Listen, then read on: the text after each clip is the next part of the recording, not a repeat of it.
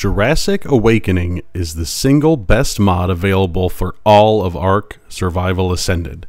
Yep, I said it, and in this beginner guide, I'm going to back it up. This massive overhaul mod makes huge changes to the game, all while somehow making Ark feel even more like Ark than the current Ark feels like Ark. Ark. But before we get into that, I need to tell you that Jurassic Awakening is being worked on non stop and updated constantly with major additions, improvements, bug fixes, etc. It's been really exciting to see the changes that have happened just in the couple of months that I've been aware of it, and the future is really bright for Jurassic Awakening. However, just know that this content is applicable as of today's date, mid July 2024. While it does seem that the modding team is mostly finished tweaking things in the beginner and mid-game difficulty areas of the island and they're now working on end-game content, don't be surprised if there's still some small changes coming after this video. Now the first thing you need to know about Jurassic Awakening is that the rates can't be changed. Kind of. Someone with admin access can go into the admin panel and change the settings from easy, medium, or hard. This will change rates somewhat and difficulty somewhat, but not all that significantly. The rates are low and the difficulty is high as Ark is intended to be a grind. But rather than feeling like grind after grind after grind like playing official Ark does, Jurassic Awakening feels like grind without any of the tedium due to their reworked progression system. Each tier of progression has its own tools, armor, tames, and more so you feel like you truly are progressing. You aren't just grinding to hit level 38 and get a PT saddle, or level 62 to get the Argy saddle and trank darts. Every level gained here makes it feel like you're progressing and learning something in a significant way. Also, as of right now, the mod has been developed for the island with its progression system meant to challenge you and reward you as you traverse the island map. Since it uses spawn containers from the island, the mod creatures will work and spawn on other maps. However, it's not recommended to be used on other maps at this point. The team does have plans to expand to other maps once their work on the island is done. Lastly, Jurassic Awakening is intended to be a standalone mod, not added to your world as part of a whole suite of mods. Jurassic Awakening completely reworks every single aspect of gameplay, and as such, Having other mods like engram unlockers or anything else that may add or change engrams or dinos will kind of break it, or they'll break each other. But trust me, and I know it sounds crazy to say, but once you get into Jurassic Awakening, you'll realize that you don't actually want any other mods. And, for the record, Jurassic Awakening is the only mod that is coded so well and so completely that it actually runs 100% perfectly on my Series S and doesn't hinder performance in any way. So let's break this mod down into a few sections. We'll be going over beginner areas and the areas in general and kind of progression. We'll go over Dino AI and Dino variants, beginner dinos, beginner tools and resources, and then the stat system and the XP system in Jurassic Awakening. And today we're mostly going to be going over levels 1 through, let's say, 25. And that should cover about your first 15 to 20 hours or so in Jurassic Awakening. The starter areas on Jurassic Awakening are the only places that you can spawn in. They are the three southern beach spawns on the island. Anyone familiar with Ark is familiar with them. As you progress through different parts of the island, the creatures become stronger, higher level, and more aggressive.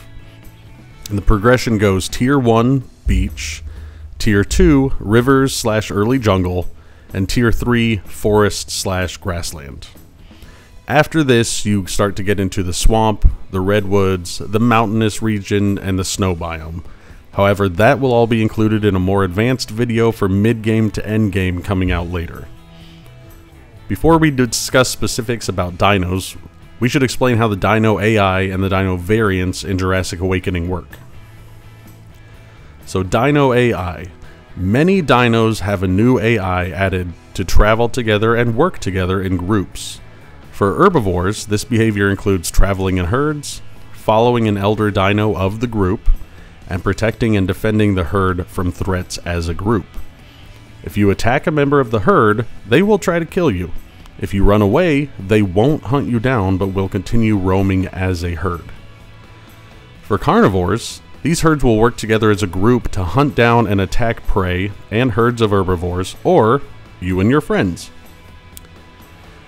There are multiple classes of dinosaur variants. One class describes where the dinosaur spawns on the map beach, river, coastal, jungle, grassland, etc. This class determines not only where the creature spawns, but also kind of what level it can be at max level. So beach dinos are relatively low level, and it's rare to see them above level 120. Pretty quickly in the swamp and redwoods, though, you can easily find level 300 wild dinos. Their base stats are also reworked. So, for example, if you tame a level 100 jungle direwolf, it will not be as strong as a level 100 redwoods direwolf.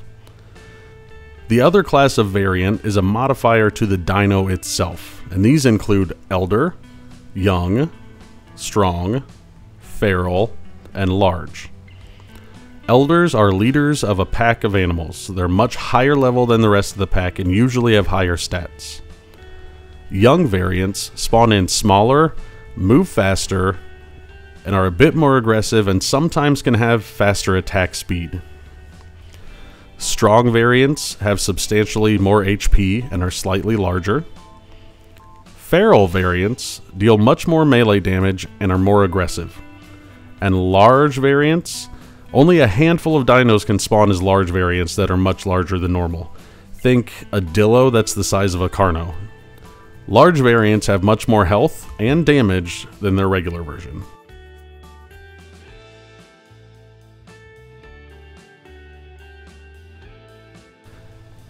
At the beginner areas, the dinos you're likely to see are low-level beach variants of parasaurs, morellatops, Triceratops, Dodos, Dillos, Phiomia, Moschops, Gallystriders, Dimorphodon, and some sand scorpions.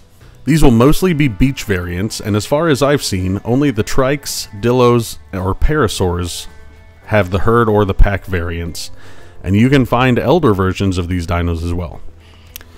Babies spawn more often on the beach so that you can harvest prime meat more easily and get early game tames more easily, and trilobites are relatively common so that you can collect early game oil used to sharpen your weapons.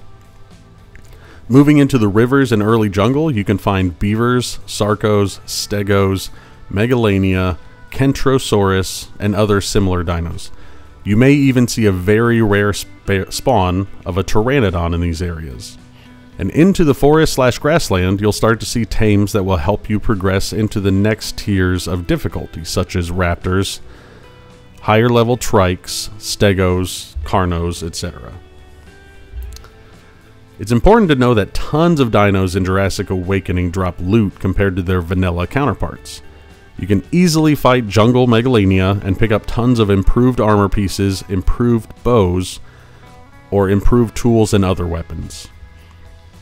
At the beginning levels, you'll have access to basic vanilla tools. However, quickly you'll be able to upgrade to scrap metal weapons, then soon after, forged versions of these weapons.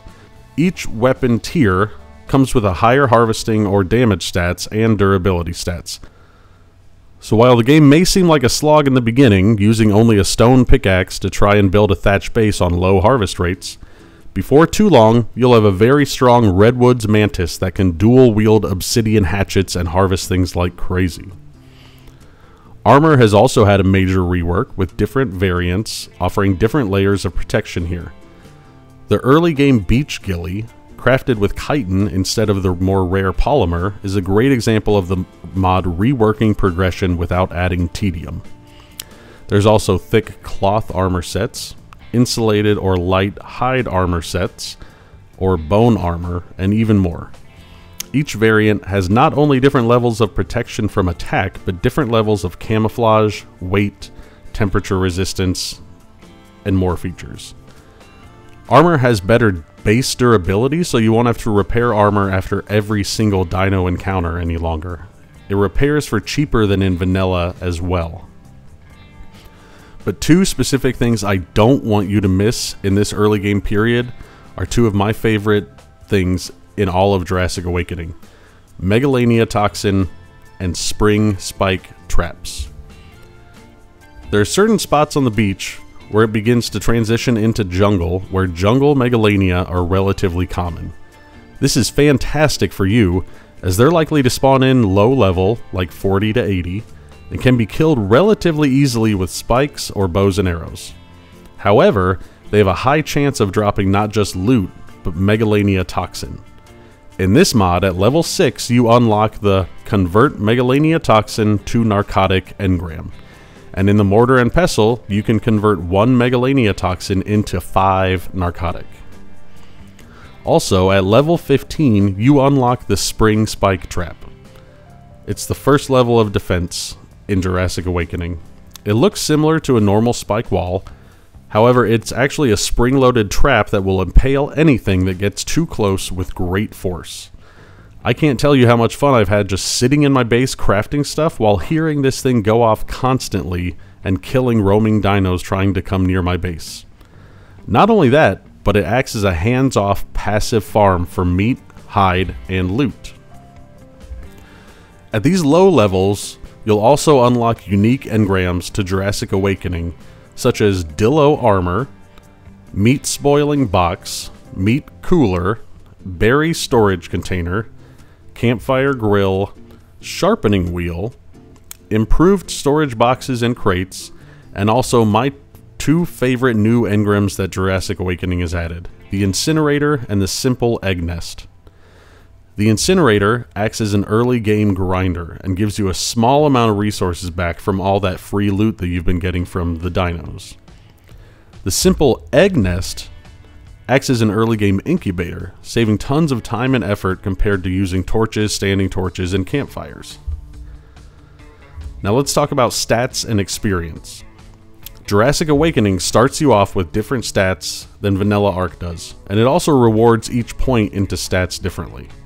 A fresh survivor will have 300 HP and gain 30 per level, 130 stamina and gain 13 per level, 300 weight and gain 30 per level.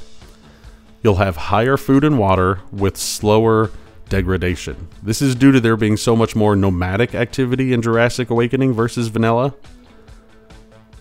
Crafting skill goes up 5% per level. This applies to like blueprints. Crafting speed goes up 10% per level. Fortitude goes up plus 5 per level. And oxygen starts at 160 and you gain 16 per level. Now, you are only allowed one stat respec per character, so use those mind wipes wisely. Health regeneration is much higher than in vanilla, but due to having such a large health pool to start off with, it can feel slower. XP gain comes more slowly in Jurassic Awakening, which is a good thing. Since there is so much progression and so many added engrams per level, you don't want to be flying through them like you might in vanilla. And just a note, Jurassic Awakening XP is weighted toward crafting and fighting. Passive XP seems lower than normal. Explorer notes only give you a 25 to 50% XP gain versus 200 to 400% like in vanilla. So forget those note runs and get out there and kill some of those cute little galley striders on the beach. Now, trust me, this has seemed like a relatively complex guide, but it has only been an incredibly shallow surface exploration of everything that Jurassic Awakening has to offer. The mod is absolutely amazing and it is so in depth. I really implore you to check out this mod, play around, and join their Discord as well. That way, you'll be able to see everything that's coming up. You'll be able to take part of the polls and you'll get to see what's working on, what they're working on. If you want to play, the mod authors do run two servers of their own, one PvE version and one PvP version, for you to play the mod exactly as it's intended. Now, it does work great in single player, and there are a handful of other servers running the mod as well. Now hit that like button, subscribe to Kyle Can't Game to see more content, and I expect to see you on the Jurassic Awakening board soon. Good luck, Survivor.